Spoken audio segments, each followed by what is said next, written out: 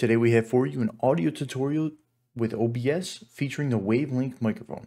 We've had tutorials in the past covering OBS with specifically recording and streaming. Today will be a purely audio side video featuring the Wavelink microphone and the software that comes with it.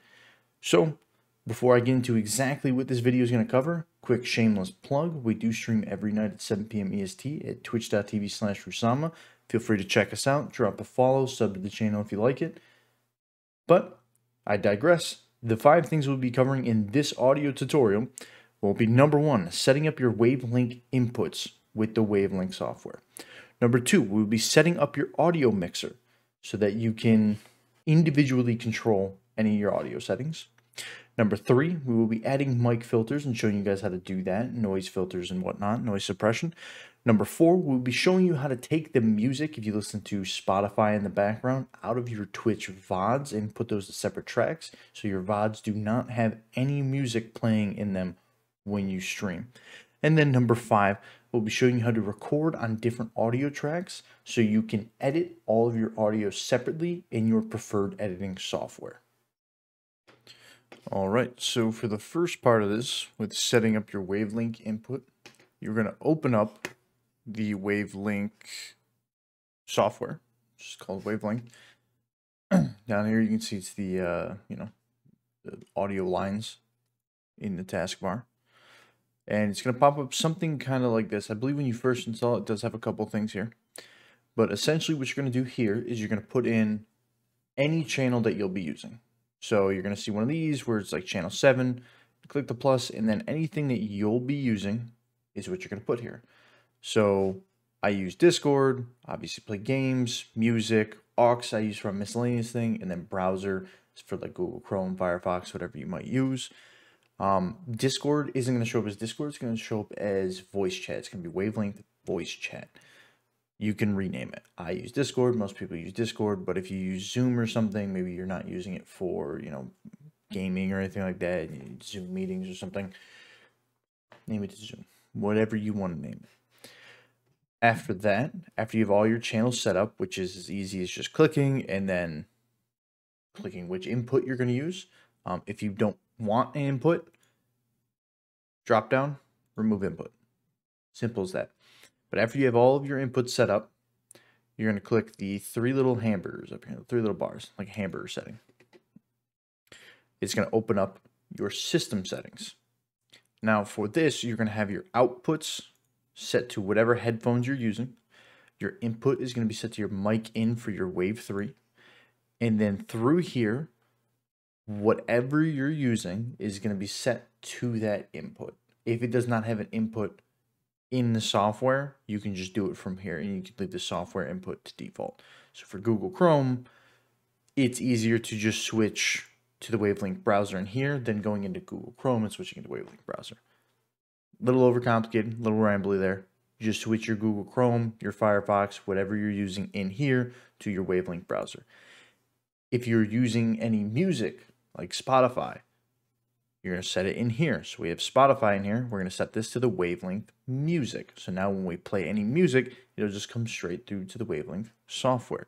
If you have any games, you can set your games up in here to the Wavelink game, but those you'll also have to set in game to Wavelink game. Um, some I've had I've had some issues with games to where it can't just be on default and then I only set it in here. Um, with Smite, for some reason, it I have to have it set to Wavelink game in my settings and in game. It doesn't work any other way. Um, I don't know why. It just doesn't. But in something like World of Warcraft, it works perfectly fine. I don't know. Either way, all you would do is you would open up your game, pop in here, switch it to game, and then go in your game's audio settings and then switch that to Wavelink game as well. So once that's all done, you can close out of this. Now right down here in monitor mix, you're going to switch to, this, to the headset you're using. Simple enough.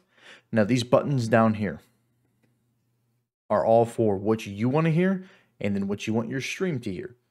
So I obviously don't want to hear myself talking. So I have this turned off, but I would like OBS or the stream to hear me talk. So I have it on stream. All these you kind of just play with You know, obviously I want to hear my own Discord, but I don't want them to hear Discord, so on and so forth. These I would recommend just turning off stream on each one of these because it'll duplicate audio in OBS with the way we're going to set this up. So personally, I would have this set to stream and then I would have everything else just set to your headphones just to start out. And then if you can't hear something, you're going to turn on on stream. Simple as that. Now into OBS with your audio settings. We're going to do up your audio mixer and we're going to set your mic. First thing we're going to do, bottom right here, we're going to go to settings. Then we're going to go to audio. And then right here, we don't have to have any desktop audio set if you have the Wavelink. If you do not have the Wavelink, you're going to set this to your headphones. Simple as that. Um, if you have anything that uses audio tracks, um, you can set it here as well, most likely. Not sure, don't have an XLR mic. I do apologize. But you're just going to set your mic to your Wavelink stream. That's all you're going to do. Now your Wavelink mic is set up. You're going to hit OK. And now you should look somewhat like this. Obviously, you're not going to have the scenes. Um, and I made all my sources into a file. You don't got to worry about that. Clean slate here. all you should have popping up. So what we're going to do is we're going to go into our sources on our main scene. We're going to right click add. We're going to add an audio output capture. And then you can name this whatever you want. Um, first, we're going to do browser. Okay. And then right here, we're going to go under, instead of doing default, we're going to look for browser. So right here, Wavelink browser. We're going to hit OK. So now, if I were to start playing something in Google, it would start playing right here. All right, I'm going to start playing one of the videos off my channel, and you're going to see the browser light up as if there's audio in the background. I do have it set fairly low, so you might not be able to hear it. So now we know it's working. That's just me playing a YouTube video off of my channel just to test it really quick before we move on to the next thing. So now we're going to right click. We're going to go to add again, another audio capture device. And then we will call this one game. We'll do our game sound next. All right, we're just going to look for game. Wherever it might be. Right here at the top. There we go. Now I'm not going to open a game because we know this works just by putting it in because we did the setting. Again, this is the one where you might have to play with it a little bit. Make sure it's set to Wavelink game in your settings and then in the game's audio settings right click, we're going to add, we're going to add another audio output, and we're going to call this one Discord. You could also call it voice chat, Zoom, whatever you would like. Hover down the default, and then we're going to click voice chat again. Okay. We just got a couple more to add here. Um, the next one would be music. And we're going to do the drop down, and then we're going to look for our music. So I think I passed it. It's right at the top. Perfect. And now let's just open this up and see what else we got here. It looks like we have everything. So we have our microphone, our voice chat, our game, our music, and then our browser.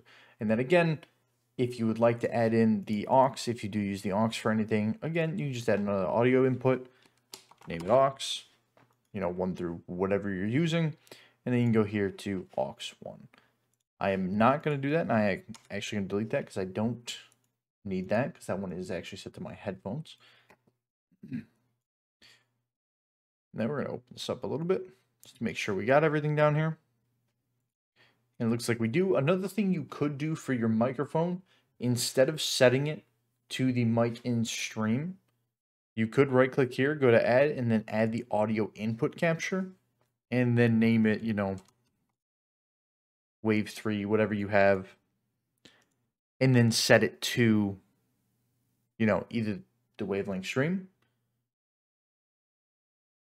your webcam if you're using that, your headset microphone, or your just wave three. That is another way you can do it. I prefer to just do the stream one. It's one less setting down here, and that just works for me, but it works the same either way. It does not matter. Cancel that. We're going to delete that. And now just a little tidbit just to keep your OBS a bit cleaner and neat. Um, if you highlight these four, right? So all I did was left click and then shift left click on the bottom one. Right click, you can group selected, and we can just call it audio. That way now we have a folder. It's nice and neat. Now I have all my main sources here and then my audio sources right here. Quick and simple. Okay, next thing we're to do is we're to set up filters. So you can find your mic slash aux or whatever you have it named and click the three little dots down here by it. You're just going to click filters. Now you're here. So you can either right click or click the little plus down here. And first we're going to add a noise gate. My opinion, this is the most important one. Uh, if you have a noisy household, got pets, you know, constantly dropping things, whatever your situation is, this will stop your mic from activating unless the sound hits a certain level, and then it will close when it hits another level. So I have mine set up to about 70 on the close, and then about 43 negative, sorry, negative 70 and negative 43 on the open. I don't change the attack time the whole time or the release time. I don't think it's important. This is something you do need to mess around with because depending on your area, your situation, if you got cars in the background, if you constantly have people in the background, whatever it is, this is something that will be unique to your audio. So play around with this one. This is definitely one you want to spend 10, 15 minutes on, have someone go into another room, start dropping things, you know, have your little brother, sister, girlfriend, wife, whatever, do the dishes and see if them doing the dishes is picking up your microphone, have somebody start vacuuming, do something to see what procs your mic and what does not. With that, we're going to go back to add. And now this isn't something I currently use anymore. I did use it, but now my NVIDIA SDK isn't updated for it. So we're going to go to noise suppression. Just going to hit OK. When I did use it, I used the RNN one perfectly fine, worked great. I just don't currently have a need for it. Um, I don't have any, you know, low cut noises through my mic or anything like that. Um, and then Wavelink also has a setting for it, which since we're talking about filters, we'll actually pull that up really quick. So if you go into here and then you find your Wave 3 and click this little drop down, you actually have some audio enhancements. You can enhance a low cut filter and the clip guard. Highly recommend turning both of these on. Works wonders. So we're just going to close that back out. Um, if you do have this SDK and it's updated and everything, go ahead and use it. I personally don't. But the last one we're going to add is we're going to add a gain. Now, this one isn't needed at all. Again, it depends on your situation if you talk super low, if you're super quiet, or you have you're forced to be quiet, gain might help where you can't even if you have your audio mixer down here cranked all the way up, sometimes it might just not be enough. All right. Taking any specific audio track or more specifically music out of your Twitch VODs is probably the easiest thing we will do in this video. So the first thing you're going to do is you're going to go to the bottom right here. You're going to go back to settings. and we're going to go into output. Now in output under streaming, we're going to look for the audio tracks. We're going to make sure Twitch VOD track is set. This will make sure we have a separate track specifically for our VODs that will go straight to our VODs. And whatever we have set in that track will play through. Whatever we don't, will not. And then audio track one. Nothing else you need to do here. This doesn't determine how many tracks you have. OBS only has six tracks uh, by default. Don't know if you can get more. We can figure that out in a later video. But this is what you need to have set. This is the most important part here. Okay, so you set it to one and set it to two. We're going to close this. You would hit apply, close it out. Now, anywhere in your audio mixer, you can just right click and then advanced audio properties. This is going to pull up all of your tracks. So now we have our track one, which is going to be our main audio, and our track two, two, which is going to be our Twitch VOD audio. And as you can see right here, I just unselected music. It's as simple as that. You will no longer have music in your Twitch VODs. if you ever wanted to watch YouTube videos or something while streaming on Twitch and it's you know a lecture or something from college, you don't want other people to hear it because you think you might get in trouble, you can do the same thing with browser. You can go over here, uncheck it from browser, uncheck it from your main track, and now it's not going to play through OBS at all. Um, again, you can also just mute your browser in OBS with the previous audio inputs we set up or outputs. I get them confused. But other than that, going into recording on separate audio tracks, it's the same thing. So, right here is everything you need. Follow the previous step and then come into here. And as you can see in here, I'm sure you've been looking at it for a minute now. Audio track one is just all of my audio put into one. So for a video like this, which I'll show you later, I just use this track. I'm not doing anything fancy with the audio. I don't need to. So this just stays like this, and then I delete the other four tracks. I know I said four, not five. It'll make sense in a moment. So as you can see here, audio track one is my main audio. Audio track two is for my Twitch VODs. I keep adding things on my fingers. Number three, we have just my mic. So audio track three, when I pull it into my editing software, will be just my microphone. So I can delete track one, and then I have my microphone isolated. I could take that wherever I want, edit it however I want audio track four, I have my voice chat, which is going to be my Discord, could be your Zoom, whatever you want it to be. My five is going to be my game audio. And then my six, I have Blerp, which is the thing that just plays noises in my ear on stream. And then my browser source, which is going to be my Google Chrome. This way, when I pull things into my editing software, which I will show you right now, it just comes up as a bunch of different audio tracks. Simple as that. There are only five here. I know there's six tracks. This will not pull in my Twitch VOD track. It will not do that. That is separate. That goes straight to the Twitch VOD. That does not get recorded or anything like that. Specifically for streaming. So, you know, in DaVinci, I would unlink the clips here. And now, if I if I was doing anything weird with my audio, I would delete this first clip and then edit whichever audio I plan on editing. However, since we're just doing this video, we just delete those four, and now we have all the audios right here ready to go in the one track. Simple as that. All right, ladies and gentlemen, I know it was a longer video this time. Audio is kind of a big thing. Uh, it annoys a lot of people, make them click away from your video really quick, make them click away from your stream really quick. So it needed to be this long. I'm sorry. I wish it was under 10 minutes. I really do. But it needed to be done. If you found this video helpful, please leave a like on the video, subscribe to the channel for more. If you think I need to clarify on something a little bit better, please leave a comment down below. I would be happy to answer any questions. I do plan on making an updated video to this one later in the future, maybe the next OBS update. Currently, we're on 29.0.0. Or if there's just a bunch of stuff I missed, if there is, please do tell me. I would love to revise this video a month from now and give you guys even more information and hopefully I can present it in a better format if this one was unsatisfactory. But other than that, you know, we stream every night, 7 p.m. twitch.tv slash Rusama. It was on the screen in the beginning of the video. Be on the screen again now. Make sure to stop by. We're playing Smite. Surtur just released. We're back to playing Tarkov on the 27th. We have the Dead Space remake. I can't wait for that. Um, that'll be a purely stream video um, or recording, whatever you want to call it, stream. I will be streaming Dead Space, the remake.